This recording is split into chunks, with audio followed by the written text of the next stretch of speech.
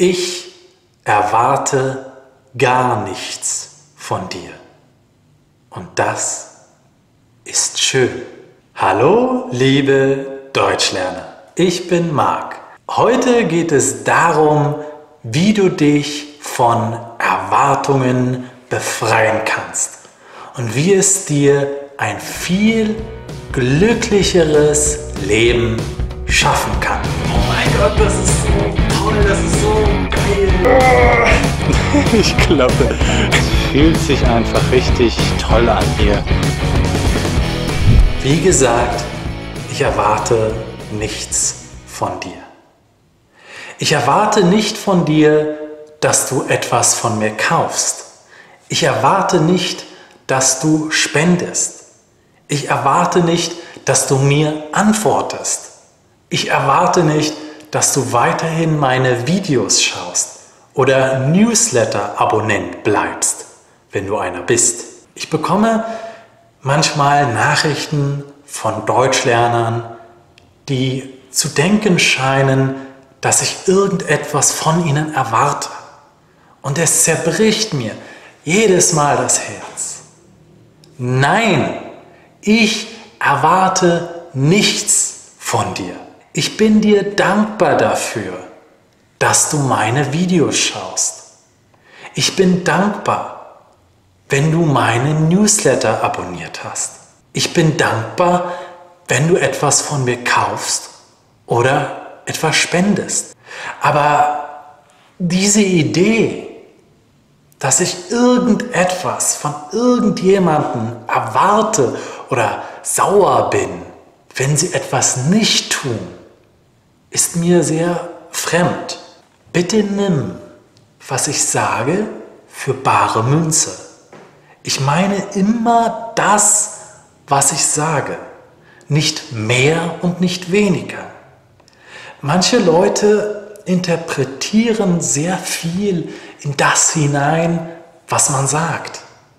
Manchmal sage ich etwas und jemand entschuldigt sich bei mir als hätte er mir ein Leid angetan oder als würde er denken, ich wäre irgendwie gekränkt. Ist dir das auch schon mal passiert? Nein, es ist sehr schwer, mich zu kränken. Es ist wirklich sehr, sehr, sehr schwer, mich zu kränken. Und egal was, du kannst immer mit mir sprechen. Ich antworte auf jede Nachricht und ich bin immer bereit, über Dinge zu sprechen. Ich bekam letztens eine E-Mail von einem Herrn, der meine E-Mails einen Monat lang erhalten hatte. Er dachte, ich würde von ihm erwarten, dass er etwas kauft. Er meinte, dass er sich abmelden wird und nie mehr meine Videos schauen wird, wenn ich das will. Nein, das ist doch gut, wenn ich mehr Ansichten habe. Ich erwarte nicht, dass du etwas von mir kaufst.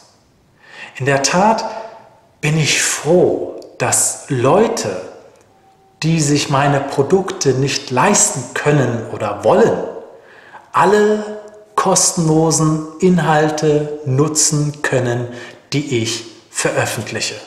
Das ist die Schönheit des Internets. Einmal erstellt sind die Kosten für die Bereitstellung einer Ressource praktisch null. Ja? Also mache dir keine Sorgen. Es gibt kein Problem, wenn du nichts von mir kaufst. Ich biete meine Produkte an und lasse die Leute entscheiden, ob sie sie kaufen wollen oder nicht. Manche Leute denken, nur weil man über seine Produkte redet, sei man aufdringlich. Wieder so eine falsche Interpretation meiner Meinung nach. Ich bin aufdringlich nur in dem Sinne, dass ich den Leuten von meinen Produkten erzähle, wie jedes andere Unternehmen auch, weil ich weiß, dass sie für die Menschen sehr, sehr nützlich sein können. Persönlich denke ich, dass sie besser sind als meine frei verfügbaren Inhalte.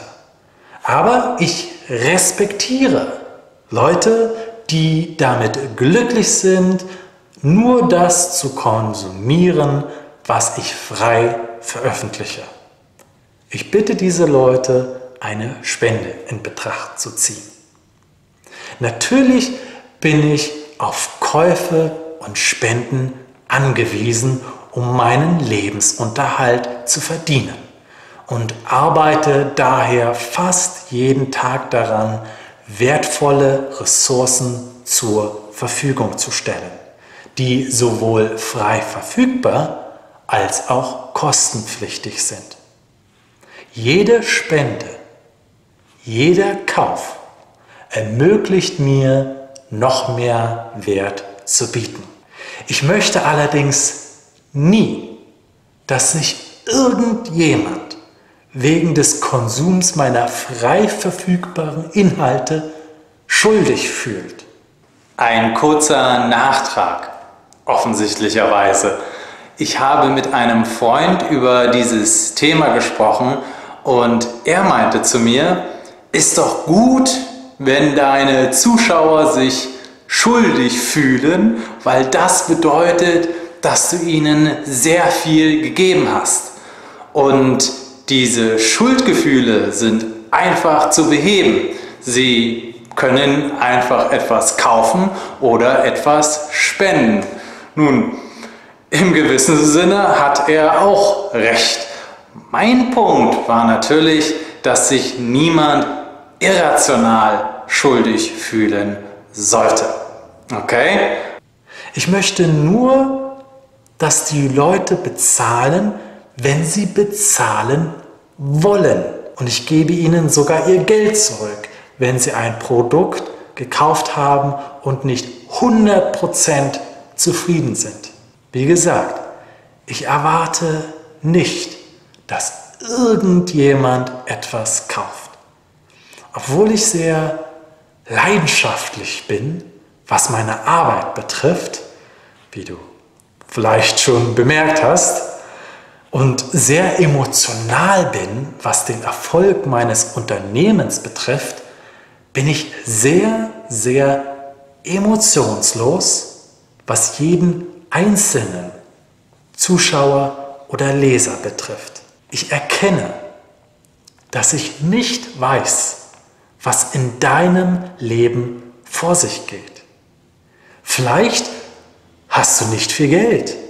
Vielleicht lernst du nur nebenbei Deutsch und es ist dir nicht so wichtig. Vielleicht lernst du gerne Deutsch als amüsantes Hobby, das du kostenlos ausüben kannst.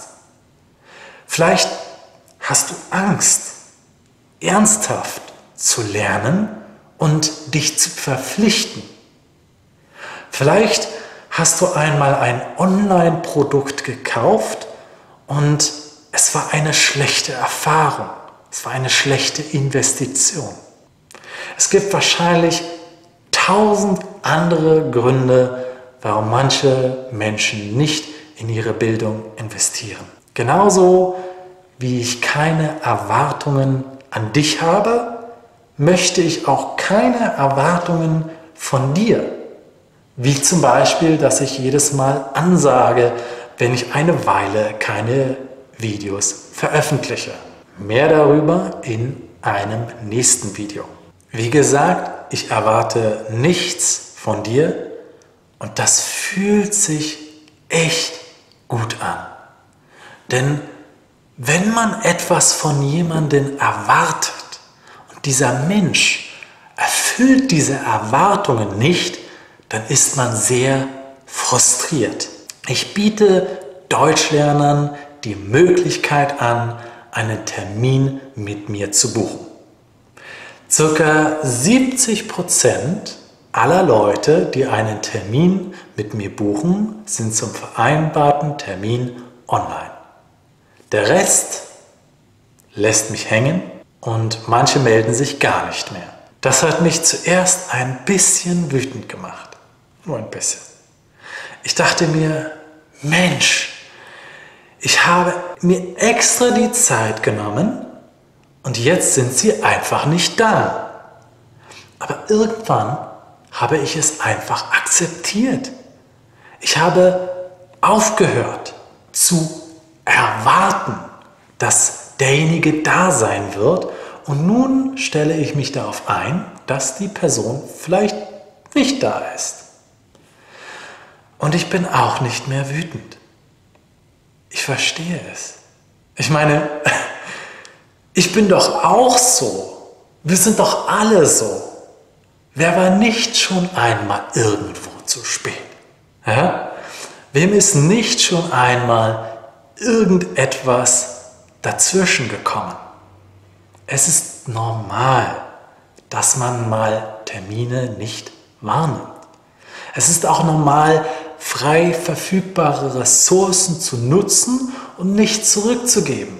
Das ist normal, ja? weil man nicht kann oder einfach weil man nicht will. Es ist befreiend, keine Erwartungen zu haben, weil kein Mensch die Erwartungen eines anderen Menschen komplett erfüllen kann. Ich sage nicht, dass man bestimmte Dinge nicht tun sollte. Man sollte zurückgeben, wenn man kann. Man sollte zu Terminen erscheinen. Man sollte pünktlich sein. Zumindest, wenn man mit Deutschen zu tun hat. Man sollte aber vor allem nach seinen eigenen Werten leben. Nach seinen eigenen Werten. Die Erwartung, die zählt, ist die, die man von sich selbst hat. Das ist die Erwartung, die zählt, die einzige Erwartung die zählt.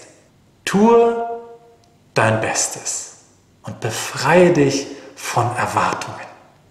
So wirst du nie enttäuscht, nur häufig positiv überrascht. Tschüss. Danke fürs Zuschauen. Du kannst übrigens mich positiv überraschen, indem du auf authenticgermanlearning.com-donate etwas spendest oder joingermanclub.com besuchst und dich in die Deutschlernakademie einschreibst. Beides wird auch dir zugutekommen.